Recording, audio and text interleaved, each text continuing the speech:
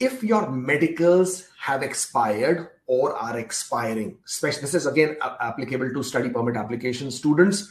If your if your uh, medicals are expiring or have expired, then you will need to redo your medicals before you travel to Canada. And not only that, this new medicals that you will do, they have to be updated to IRCC. IRCC has to review them and has to update your account.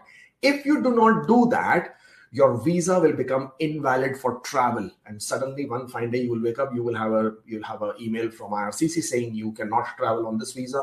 It is invalid because your medicals have expired. And then you will frantically be going around running to do something about it because you may have a travel date in the next one or two dates. Uh, therefore please be aware of when your medicals are expiring. If your medicals are expiring please take your medicals again. Make sure ircc updates them